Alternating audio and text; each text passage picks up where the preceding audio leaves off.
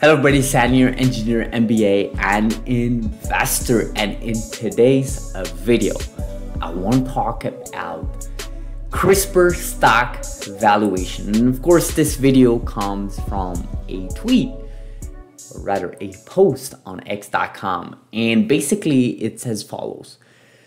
CRISPR stock valuation. And this is a really nice graph. I, I don't think you guys can see because of my big face here. Let's minimize this here, really smaller.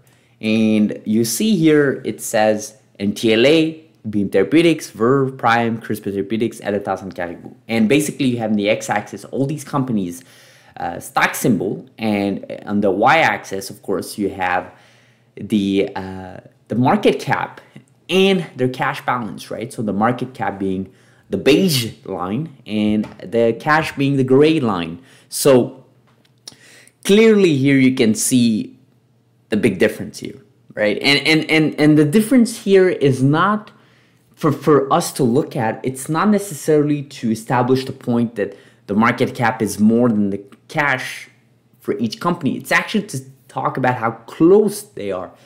Because this matters, right? Think about this, right? There's companies out there that are worth 100 billions, 200 billion dollars in the tech space Yet there's no way they have anywhere near that cash. In fact, most of these those companies probably have about five to ten billion dollar cash, not even more. Yet they're worth ten times, even in some case twenty times their cash in the balance sheet. In this case here, like CRISPR Therapeutics, they're worth about three point six billion dollars as of uh, this week, and that's a market cap of three point six billion dollars in the stock market. Yet they have almost $2 billion cash.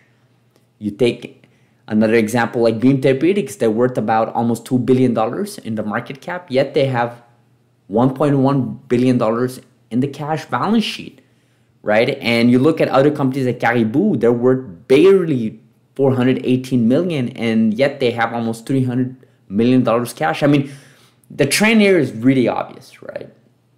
And what is the trend is that these companies are undervalued in the market cap space. And I I've always said this in this channel in the past two years.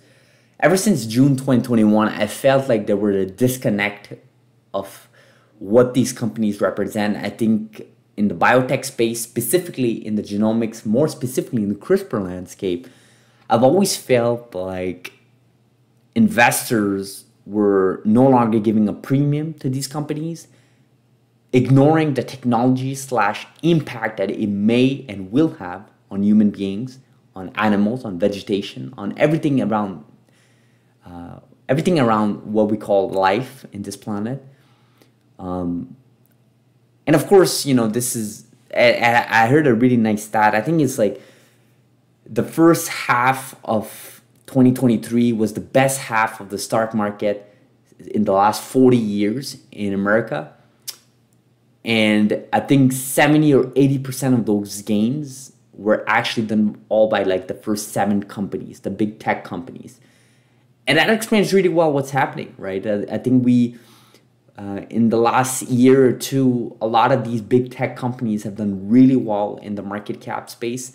Um, yet, companies that are smaller, companies that are working with technologies that are aren't really well known, are not really performing as well, including CRISPR companies. I mean, you look at companies like NTLA worth just under $3 billion market cap, yet they have almost $1 billion cash. I mean, that's three times the valuation, right, of what they have in the balance sheet. And of course, this is not the only way you can value a company. I mean, let's, let's not be naive here. It's not like you, you just look at how much cash they have in the balance sheet and you find a multiplier and that's how much they should be worth that's not the point. The point here is that these companies are undervalued in a sense where they're not going to go bankrupt anytime, guys. They will not go bankrupt. I'm sorry, but CRISPR Therapeutics, if everybody, if anybody thinks that CRISPR Therapeutics will go bankrupt if the FDA doesn't improve by December, early December there for exa-cel, I think they're they're really wrong because they have enough money in the bank without raising a single dollar in the public markets or getting any additional revenue from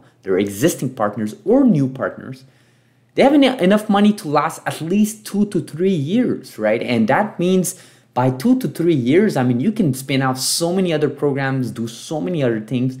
I, I have a hard time believing that any of these companies, when it comes to CRISPR, NTLA, uh, Beam Therapeutics, Caribou, Verve, would go bankrupt, right?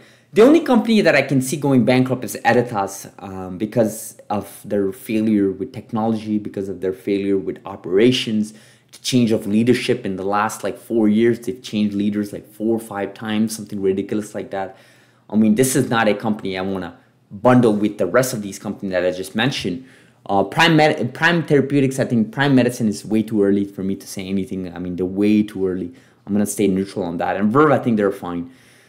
But I, I really think right now there's like this person here on X.com said, I'm sensing we might see some buying interest on Q4. And I think there is definitely some interest. I think by October, end of this month, we're already October, um, by end of this month, uh, we're gonna get that uh, committee to give their external opinion and review on exa-cel, which is of course we talked about in the previous video. So I highly recommend you guys to watch that video.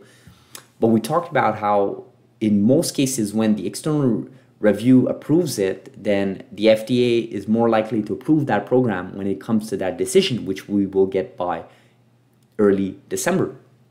So I really think these companies are undervalued. Again, not financial advice, guys. I don't want to, you know, mislead anybody here. I don't want to start giving uh, indications that you should be buying these stocks. Again, we never give financial advice here. It's just education information for free.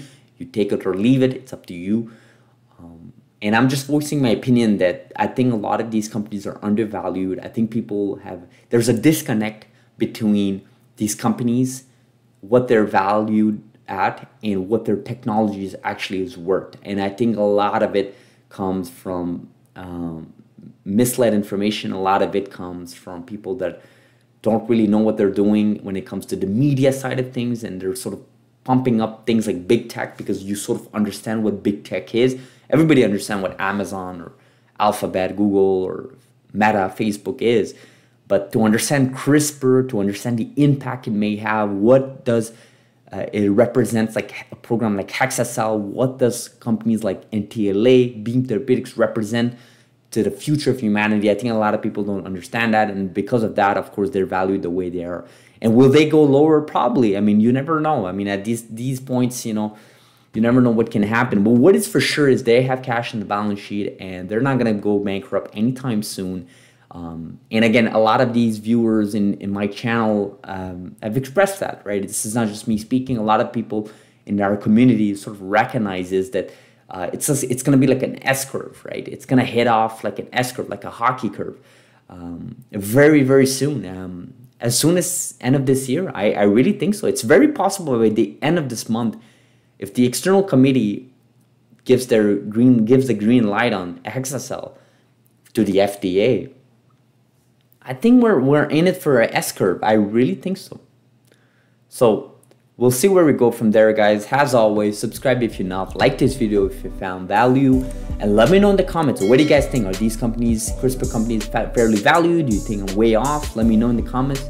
I'll see you guys in the next video. Thank you so much, and sorry about the small face. Forgot that I minimized myself. I'll see you guys in the next video.